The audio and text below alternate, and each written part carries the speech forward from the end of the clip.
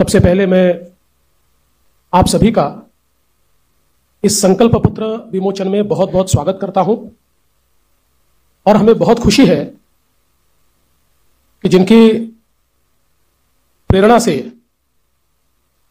इस पूरे भारत में हम लोग काम करते हैं, ऐसे हमारे प्रधानमंत्री माननीय नरेंद्र मोदी जी, इनके संकल्पों को महाराष्ट्र में यथार्थ में लाने का काम इस संकल्प पत्र के माध्यम से हो रहा है और भारत में हम सभी को जो ऊर्जा देते हैं, लड़ने की ताकत देते हैं और सामने खड़े रहकर हमारे साथ जो हमेशा युद्ध में आगे होते हैं, ऐसे आदरणीय गृह मंत्री अमित भाई शाह जी के हाथों से यह संकल्प पत्र का विमोचन हो रहा है। हे संकल्प पत्र म्हणजे विकसित भारताकरता विकसित महाराष्ट्र तयार करण्याचा रोडमॅप आहे. मी आपल्याला आठवण करून देतो दोन हजार चौदा साली आम्ही एक संकल्प पत्र जारी केलं होतं आणि दोन हजार एकोणीसच्या निवडणुकीला सामोरं जाताना त्या संकल्पपत्रातल्या कुठल्या कुठल्या गोष्टी आम्ही पूर्ण केल्या. या संदर्भात एक रिपोर्ट कार्ड देखील दिलं होतं.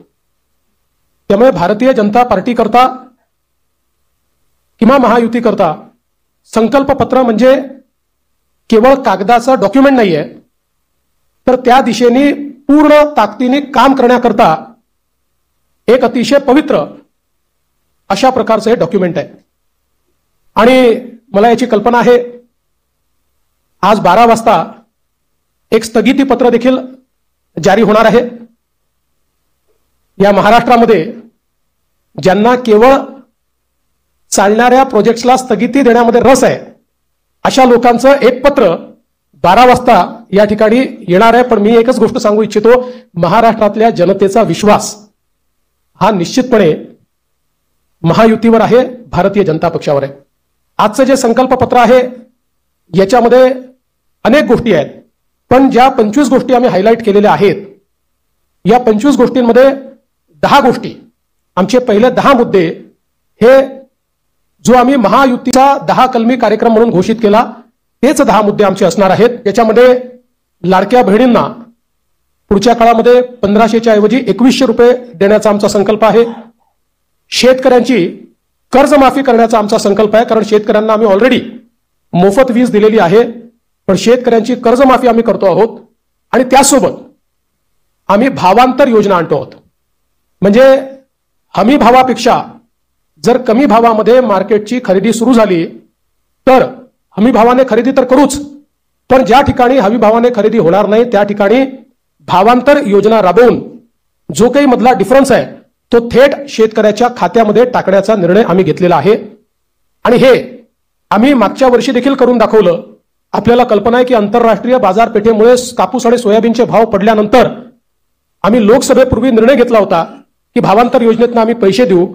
आचारसंहिता संपल्याबरोबर ते पैसे थेट शेतकऱ्यांच्या खात्यामध्ये आम्ही दिले आहेत. आम्ही या ठिकाणी प्रत्येक गरिबाला अन्न आणि निवाऱ्याचा हक्क हा देण्याचा निर्णय घेतलेला आहे. आणि जी वृद्ध पेन्शन योजना आपण चालवतो ज्याच्यामध्ये पंधराशे रुपये आपण देतो ते पंधराशे रुपयावरनं एकवीसशे रुपये आपण करण्याचं ठरवलंय.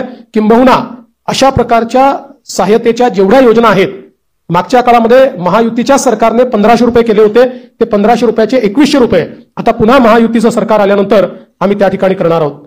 यासोबत ज्या जीवनावश्यक वस्तू आहेत त्यांचे भाव स्थिर ठेवण्याकरता आम्ही त्या ठिकाणी मार्केट इंटरव्हेन्शन करणार आहोत. येत्या काळामध्ये पंचवीस लाख रोजगाराची निर्मिती ही महाराष्ट्रामध्ये करण्याचं लक्ष आम्ही ठेवलंय. आता ज्या गतिशीलतेनं महाराष्ट्रामध्ये औद्योगिकरण होत आहे आणि एफडीआयमध्ये देशाच्या बावन्न टक्के एफडीआय आपल्याकडे आलाय. मला विश्वास आहे की पंचवीस लाख रोजगाराच्या संधी आम्ही तयार करू. आणि त्याचसोबत दहा लाख विद्यार्थ्यांना या ठिकाणी विद्यावेतनाच्या माध्यमातून आम्ही त्या ठिकाणी नोकऱ्या करण्याकरता किंवा त्यांना रोजगार देण्याकरता अग्रसर असणार आहोत. दुसरं मागच्या अडीच वर्षामध्ये आम्ही सरकारी नोकऱ्यांवरचा सगळा निर्बंध हटवून जवळपास एक लाखपेक्षा जास्त आम्ही पंच्याहत्तर हजार घोषणा केली होती पण एक लाखपेक्षा जास्त नोकऱ्या या सरकारी क्षेत्रामध्ये त्या ठिकाणी दिलेल्या आहेत. आणि यासोबत आमचा प्रयत्न आहे की जो गरीब किंवा मध्यमवर्गीय आहे याला सौर आणि अक्षय ऊर्जेचा वापर करून त्याच्या वीज बिलामध्ये तीस टक्के सूट हे आम्ही त्याला देण्याचा प्रयत्न करणार आहोत. त्यासोबत सरकार स्थापनेच्या शंभर दिवसामध्ये vision Maharashtra twenty twenty nine अशा प्रकारचं एक विजन डॉक्युमेंट हे आम्ही तयार करू. विज्ञान आणि तंत्रज्ञानाच्या क्षेत्रात आम्ही महाराष्ट्राला पहिल्या क्रमांकावर कसं ठेवायचं? हा आमचा प्रयत्न असेल. मेक इन महाराष्ट्राचं जे धोरण आहे ते अधिक प्रभावीपणे राबवून याला मोस्ट प्रेफर्ड डेस्टिनेशन अशा प्रकारची परिस्थिती आम्ही तयार करू. महाराष्ट्राला फिनटेक आणि ए आय याचा हब म्हणून आम्ही तयार करू.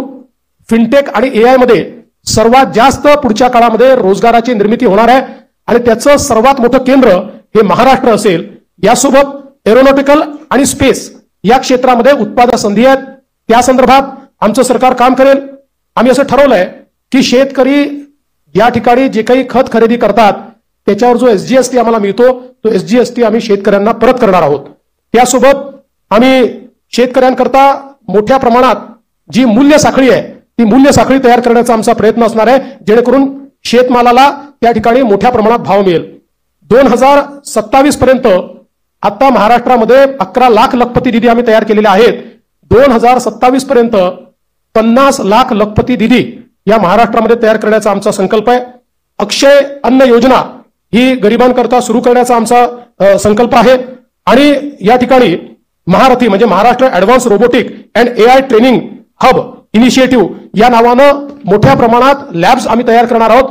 ज्यातनं या क्षेत्रातली ट्रेन मॅनपॉवर ही आपल्या कॉलेजेसमध्ये आणि शाळेमध्ये सुरू होईल आणि पुढच्या काळात ती पूर्णपणे तयार असेल. महाराष्ट्रामध्ये कौशल्य जनगणना आम्ही करणार आहोत स्किल सेन्सस आणि त्या स्किल सेन्ससच्या आधारावर वेगवेगळ्या सेक्टरमध्ये कुठे इंटरव्हेन्शन करण्याची गरज आहे आणि कशा प्रकारे त्या स्किलचा वापर करण्याची गरज आहे याचा प्रयत्न आम्ही करणार आहोत. यासोबत छत्रपती शिवाजी महाराज आकांक्षा केंद्र हे आम्ही तयार करणार आहोत ज्याच्यामध्ये को वर्किंग स्पेसेस असतील इन्क्युबेशनच्या सुविधा असतील ज्यातनं स्टार्टअप्समध्ये मोठ्या प्रमाणात विद्यार्थी असो किंवा स्टार्टअप करणारे जे नवीन नवतरुण असतील या सगळ्यांना एकत्रितपणे शेअर पद्धतीनं सगळ्या प्रकारच्या प्लग अँड प्लेच्या सुविधा आम्ही देऊ.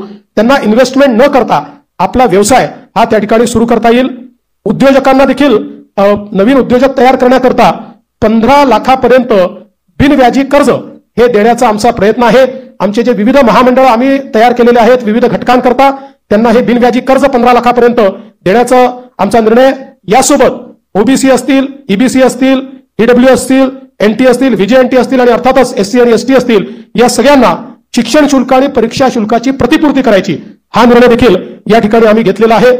युवांमध्ये मोठ्या प्रमाणात फिटनेस असला पाहिजे. या दृष्टीनं स्वामी विवेकानंद युवा आरोग्य आणि फिटनेस कार्ड हे आम्ही तयार करणार आहोत. आणि युवांच्या फिटनेस करता एक मोठी मोहीम हातामध्ये घेऊन क्रीडा क्षेत्रामध्ये आणि फिटनेसच्या क्षेत्रामध्ये मोठ्या प्रमाणात संधी उपलब्ध करून देण्याचा आमचा प्रयत्न आहे. गड किल्ल्यांच्या विकासाकरता प्राधिकरण हे तयार करण्याचा आमचा मानस आहे. मागच्या काळात काही गड किल्ल्यांकरता आपण केला पण सर्व गड किल्ल्यांचं संवर्धन करणारं एक प्राधिकरण हे या ठिकाणी आम्ही तयार करणार आहोत. आणि ज्येष्ठ नागरिकांना प्राधान्य देण्याच्या दृष्टीनं एक ज्येष्ठ नागरिकांसाठी विविध सेवा देणारं धोरण आज आपल्याकडे आपण अनेक सेवा देतो पण त्या सगळ्या ज्या सेवा आहेत या सेवांचं एक एकत्रित धोरण हे तयार करण्याचा आमचा प्रयत्न आहे. एकूणच जर आपण विचार केला तर प्रधानमंत्री महोदयांनी आपल्याला जो काही संदेश या ठिकाणी दिलाय की गरीब शेतकरी महिला आणि युवा हे जे चार घटक आहेत जे विकसित भारत तयार करणार आहेत या चार घटकांना समोर ठेवून आणि त्यांच्यासोबत सिनियर सिटीजन्सला सोबत ठेवून सर्व जाती धर्माचे लोक हे या ठिकाणी आमच्या योजनांमुळे लाभान्वित होतील अशा प्रकारचं एक संकल्पपत्र तयार केलंय जे मूळ आमचं डॉक्युमेंट आहे. याच्यामध्ये सगळ्या क्षेत्रांचा रोडमॅप देखील आम्ही दिलेला आहे. त्या त्या क्षेत्रांमध्ये काय होणार आहे हे देखील आम्ही सांगितलेलं आहे. आता मी त्यातले फक्त पंचवीस हायलाईट आपल्याला सांगितलेले आहेत. आपण जर आमचं पूर्ण डॉक्युमेंट वाचलं तर याच्यामध्ये कुठलंही क्षेत्र सुटलेलं नाही. सगळ्या क्षेत्रामध्ये विकसित भारताचा रोडमॅप हा आम्ही मांडलेला आहे. विकसित महाराष्ट्राचा रोडमॅप मांडलेला आहे. आणि आमचा प्रयत्न आहे जसंच आता सुधीर भाऊंनी सांगितलं की या ठिकाणी आम्ही अर्ध्या ट्रिलियनचा मार्क महाराष्ट्राने पार केला आहे आणि महाराष्ट्र देशातली पहिली ट्रिलियन डॉलर इकॉनॉमी करण्याकरता आम्ही सगळे संकल्पित आहोत. या दृष्टीनं ह्या संकल्पपत्र आम्ही तयार केलंय. हे संकल्पपत्र तयार करण्याकरता सन्माननीय सुधीरभाऊ मुनगंटीवार आणि विनयजी सहस्त्रबुद्धे यांच्यासोबत ज्या टीमने काम केलं त्या टीमचं मी मनापासून आभार मानतो. खूप जवळपास महिने दीड महिने दोन महिने एक मोठी प्रक्रिया राबवून त्यांनी या ठिकाणी हे संकल्पपत्र केलेलं आहे. आणि दोन हजार एकोणतीसच्या निवडणुकीला जेव्हा सामोरे जाऊ त्यावेळी या संकल्प पत्रासोबत एक रिपोर्ट आम्ही देऊ की या संकल्प पत्रात काय सांगितलं होतं आणि आम्ही काय काय पूर्ण केलं अशा प्रकारचा रिपोर्ट देखील आम्ही आपल्यासमोर ठेवू. खूप खूप धन्यवाद.